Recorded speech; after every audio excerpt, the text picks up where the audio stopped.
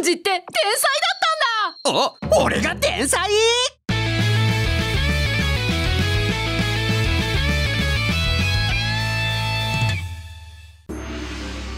ペケッツって本当にすごいよね。そうだよね。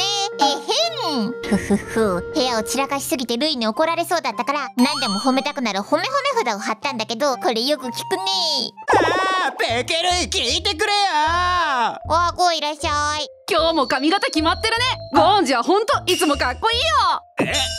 おう。ん今日は部屋が散らかってるな。ルイがいるのに。ペケツ今日のルイなんか変じゃないか？ねえそうかな？ルイはいつも通りだよ。それよりゴーどうしたの？そうだ！また俺母さんに怒られたんだ。怒られすぎて今週だけでも何回怒られたか覚えてないんだぜ。俺が悪いのか？そんなに俺が悪い子なのか？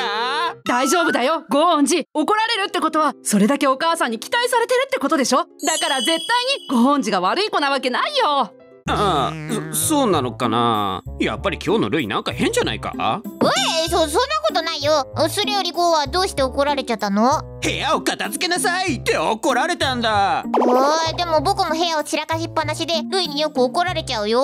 部屋の片付けってそんなに大事か？どうせ片付けてもすぐ散らかるんだしさ。ねえ。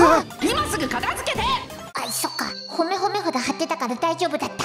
ゴーンジって実はもよ。ててててて天才？実は天才。親に怒られるけど本当は天才の証拠かもしれない行動。4選。俺が天才ってどういうことなんだ？こないだ本で読んだんだけど一般的にあまり良くないと思われている行為が実は天才の証拠かもしれないという研究があるんだ。部屋を片付けられないのも天才の証拠なの？そうなんだ。天才と呼ばれる人は部屋が散らかっている人が多いって言われているみたいだよ。そそうなの？天才の部屋が散らかっている理由として考えられるのはいつも使うものをすぐ取れる場所に置いたりして効率よく部屋を使うためだと言われているよ。そうなんだよ。散らかってても自分の部屋のどこに何があるのかちゃんと分かってるもんな。それに片付けるエネルギーを使わない分新しいアイディアや研究に集中することができると言われているんだ。iPhone を開発したアップル社のスティーブ・ジョブスや20世紀最高の物理学者と言われているアインシュタインなんかも部屋が散らかっていたんだって。確かに俺もどうやったらモテモテになれるかずっと考えているからな。僕も地球支配の方法ばっかり考えてるからなんだね。ゴーも僕も天才なんだ。やった部屋が散らかっている人天才かもしれない度80%あと別のことでも怒られたんだ。えまだあるの？学校から帰った時シャツがズボンからビロンって出ちゃっててそれを見た母さんからだらしない格好するんじゃないって怒られたんだ。あーあれはビロビロしててかっこ悪いもんね。ちょうど見たいテレビがあって慌てて帰ったから全然気づかなかったんだぜ。ゴーンジそれ天才の特徴かもしれないね。ビロビロも？天才の中にはあまりに集中力が高すぎて自分の興味があること以外に全く意識がいかない人が多いと言われているんだ。だから日常生活がめちゃくちゃで睡眠や食事服装なんかに対しても全くこだわりがない人が多いんだって。全ての時間を興味がある研究や学問に使っちゃうみたいなんだ。確かに俺もレディのことを考えちゃうと他のことは考えられなくなっちゃうんだよな。いややっぱり俺って天才だったのか。僕も僕もゲームに熱中して他のこと考えられないよ。僕も天才なんだね。そうかもしれないね。だらしない格好の人天才かもしれない度60%それと頼まれてたお使いを忘れて怒られたこともあったな。何買ってきてって頼まれたの？うん？忘れた。何も覚えてないじゃんそれも天才の特徴かもしれないよ。え忘れちゃったのに。とある大学で忘れっぽいという特徴は実は優れた頭脳を持ってる証拠かもしれないという研究結果が出たんだ。人間の脳はより重要な情報を覚えるためにどうでもいいと思っていることはしっかり記憶しないらしいんだ。だから天才は普通の人が覚えているような日常の細かなことを忘れちゃう分ものすごい量の専門的な知識を覚えられると言われているよ。確かに俺はレディたちのヘアスタイルや靴下のデザインお気に入りの文房具や会話の内容まで全部暗記してるからな。天才なのかも。僕も今年発売されたポテチの種類は全部言えるよ。ペケッツもゴーンジもすごいね。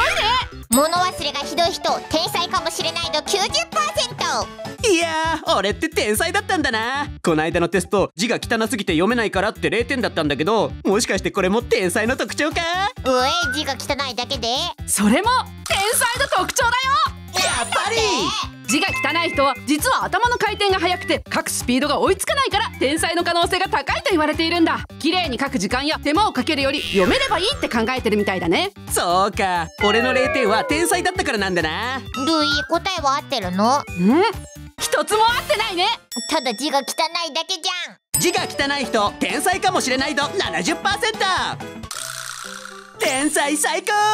いくら散らかしてもいいんだよ。なぜなら僕たちは天才なんだから。お菓子食べたら喉乾いちゃったんだぜ。ルイ飲み物飲みたい。僕も飲みたい。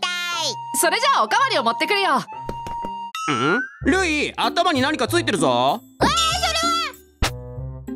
剥がしちゃった。なんだこれ？それは褒め褒め札貼られた人はいいことしか言えなくなるんだ。部屋を散らかしちゃってルイに怒られそうだったから貼っそれでルイが変だったのか。ん？ということは。ペケッツにご恩じルルイこんなに部屋散らかしちゃダメでしょ！今すぐ片付けて！ごごめんなさい。ペケペケペケッツくんオンラインクリ好評発売中。スマホからも弾けるよ。今日は何が当たるかな？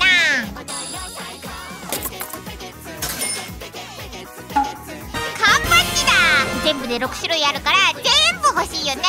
みんなもチャレンジしてみてね。チャンネル登録お願いします。こんなに面白いのにチャンネル登録しないわけない